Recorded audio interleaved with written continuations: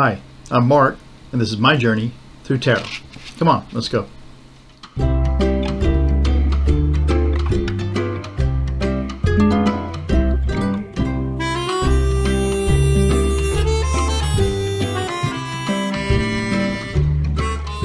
So this one's going to be about Jennifer Weisselberg. Jennifer Weisselberg.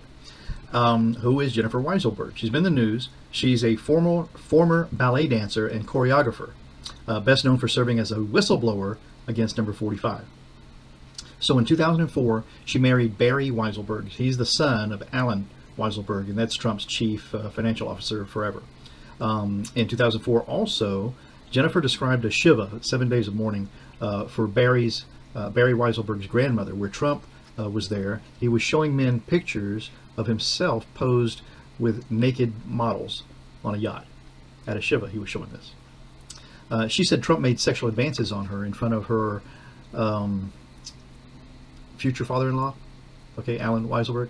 And then um, even though he knew uh, she was engaged, Trump did that. Uh, now Barry, who was her fiance, uh, also worked for Trump, managing all of his ice skating rinks in the New York City uh, area. So when they married, they moved into a desirable apartment, it says, in downtown Manhattan that overlooked Central Park. And she was told it was a wedding gift. Um, but she learned later that um, Trump's accounting showed that the gift uh, was a business expense, not a personal gift. And I guess that was discovered maybe during the divorce, divorce uh, proceedings, I would imagine. If the apartment had been listed as a business expense, the Barry uh, Barry Weisselberg would have had an obligation to list it on his tax returns, and uh, presumably that wasn't done. So journalists uh, sus uh, suspect that uh, District Attorney Cyrus Vance Jr. plans to use this impropriety as a leverage to get Barry and Allen Weisselberg to agree to a plea deal where they testify against 45. They paid, being Jennifer and Barry Weisselberg after they got married, they paid no rent for the apartment, but they did pay about 400 a month in utilities um, Bloomberg News calculated that they would have uh, paid hundreds of thousands of dollars of rent uh, if market rent were charged during the years they lived there, and apparently they lived there in 14 years. In 2014, the apartment was sold for almost $3 million, and the apartment's current owners rented out for $7,000 a month. So that's what's going on there. Now, Barry Weisselberg worked for um, Donald Trump in the uh, managing the ice rinks, and that is kind of an interesting story too. So I'll tell it really quickly. So Wollman Rink, the major rink, I suppose, in in um, Central Park. So Wollman Rink is a public ice rink in the southern part of Central Park, uh, Manhattan. It's named after the Wollman family who donated the funds for its original construction. Wiki says. And uh, in 1949, when all this started, the philanthropist uh, Kate Wollman donated $600,000, which is about $6 million today, for the rink's construction to commemorate her family. And um, she is also happened to be the great aunt of Henry and Richard Block, co-founders of H&R Block. So interesting. Now in 1950, Wollman Park did open. In 1957, in the summer, it hosted a series of jazz uh, under the stars uh, concerts. Uh, Billie Holiday, Dizzy Gillespie, uh, Buddy Rich, and uh, you know lots of others. And then 1966 to 1980, uh, the summer had, there were summer music festivals where there were 30 to 50 concerts each summer uh, at the rink featuring, so some of the names were Jimi Hendrix, the Jimi Hendrix Experience, The Who, uh, Led Zeppelin, the Beach Boys, and the Supremes, and, and I mean a lot more. Then in 1974, the city, uh, New York City Parks and Recreation Department started planning a renovation of the rink. Uh, finally, in the winter of 1980, the rink had to be closed when the concrete floor actually buckled. Then, uh, planning errors and construction mishaps and flooding by heavy rains, all of that held it all up until finally Trump then offered then Mayor Ed Koch uh, to rebuild uh, the rink at Trump's expense within six months. And in return, uh, he would take the leases to operate the rink and the adjacent uh, restaurant uh, in order to recoup his costs. So he made a deal. And the final agreement was that the city would reimburse Trump for the costs up to the agreed limit and that he would donate the profits of the rink and restaurant to charity and public works. Hmm. So someone should check that out. Then uh, Trump, uh, when he started uh, the project, he asked his contractors to also do the work without making a profit, promising them, you know, publicity for not, uh, you know, for everything they did. But then he didn't mention their contributions at the uh, press uh, afterwards. So, but the work was completed two months ahead of schedule and $750,000 under the estimated costs. And then as part of the, I'm sure lots of folks didn't get paid. As part of the agreement to keep operating Wollman Park, Trump agreed to take a concession for Lasker Park rink as well, which is also in Central Park. So now it's two rinks and um, the restaurant. In 1986, when the rink reopened, ticket, ticket prices were raised and attendance was up. And the Trump organization donated, it says here, Wiki says, Trump organization donated most of the profit to public works and charity, and among them United Cerebral Palsy, Partnership for the Homeless, Gay Men's Health Crisis. So the Trump organization held the concession that I held you in suspense until 1995. And then Trump, uh, the Trump org subsidiary is Wollman Rink Operations LLC, who won another contract in 2001 to operate the rink through uh, 2021. Then the Wollman Rink uh, Operations uh, is owned by DJT Holdings, Donald J. Trump, you think? DJT Holdings LLC, which is owned by the Donald J. Trump Revocable Trust for the duration, or was for the duration, I presume it's not anymore, of uh, his presidency.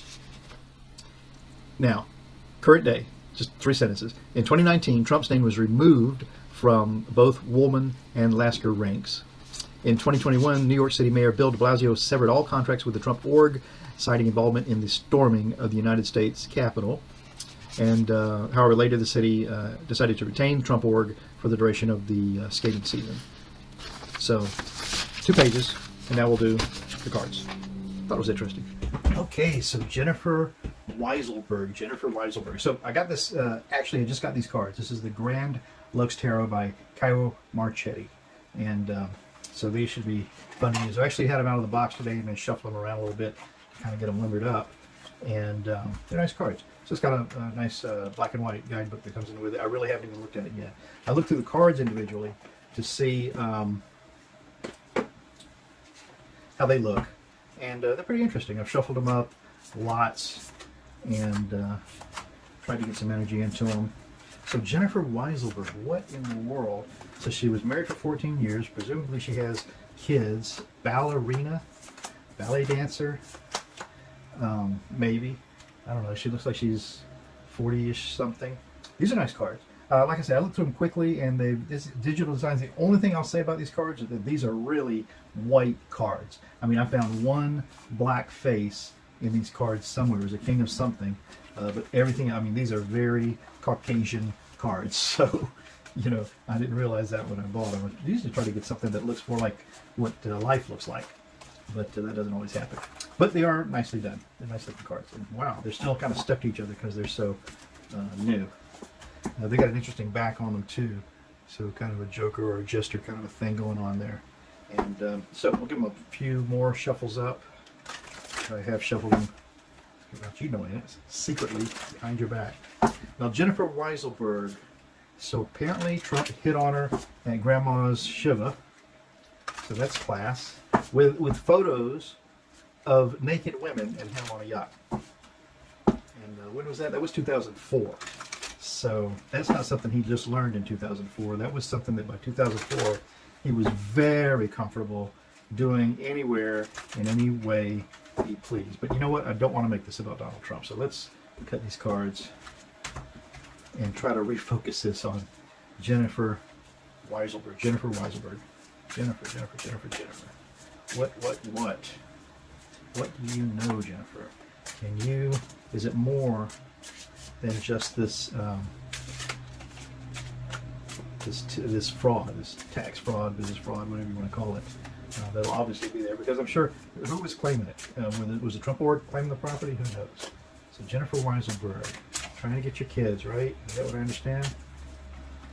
What do you know? What can you tell us about all of this, Jen? Okay, we're going to go for it. Okay, first time I've used these cards. Jennifer Weisselberg. We're going to do six.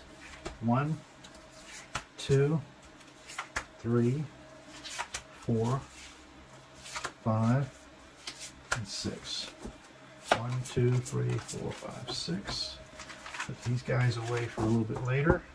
And we'll see how all this goes. Jennifer Weisselberg, what is the signifier card for you, dear? And this is the Knight of Cups. Let me take a minute to look at this and then I'll bring it up to the camera a little bit closer. So, you know, cups are all about emotions and passion and moving things along from a from an inner spirit kind of a way. This knight is very much wrapped up in the ocean. We've got a couple of beautiful swordfish here leaping out uh, from this ocean of, of passion. So are you the knight of passion, uh, Jennifer Weisselberg, or were you just a knight of passion? so we'll see. That's what Trump wanted anyway, a knight of passion. What was going on 14 years ago?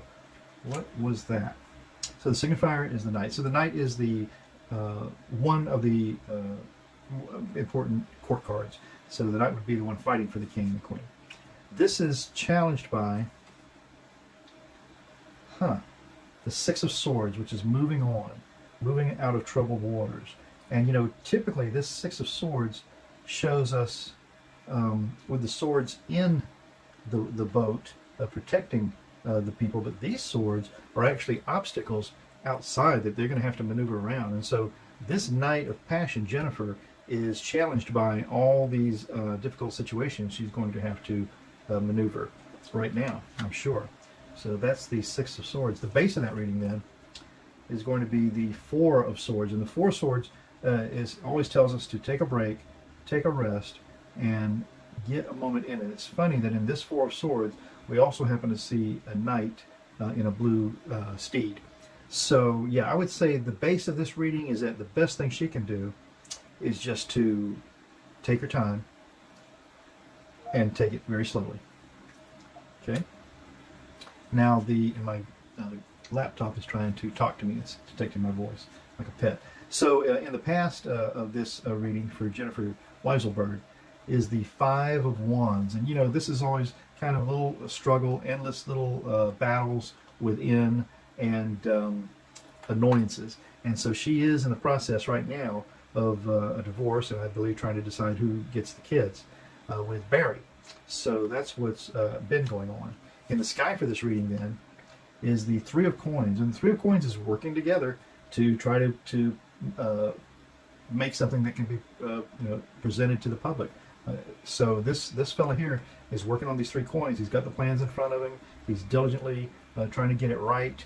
And uh, I would say that's uh, Jennifer Weisselberg's life in a lot of ways. She's trying to figure out how to get the kids, um, and with the cherry on top of see if she can screw Trump in the meantime, and uh, which wouldn't be good for the Weisselberg family either. So, uh, hell hath no fury, they say, as a woman scorned. So now the uh, near outcome of this is going to be very fruitful for Jennifer. It looks like to me, the Empress. And uh, this Empress has come out of this with everything she wants. She's got baby in arms. It's in a beautiful garden. She's in paradise. And that's what the near outcome looks like for Jennifer in the six the six card part of this uh, Celtic Cross. So that's pretty good. So let's see. Let's zero down on Jennifer right now. Let's try to get into her brain. What's going on for you right now, Jennifer Weisselberg? And this is the Page of Swords. Wow. This page to me looks like her.